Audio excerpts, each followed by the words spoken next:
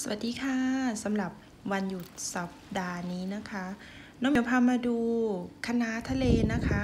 ช่วงนี้คือช่วงที่อร่อยมากๆค่ะ แล้วก็ส่วนที่อร่อยที่สุดของคะน้าทะเลก็คือดอกนะคะ ก้านเขาจะกรอบแล้วก็ดอกเขาจะหวานนะคะ จะกินสดหรือลวกหรือผักช่วงนี้ก็คือ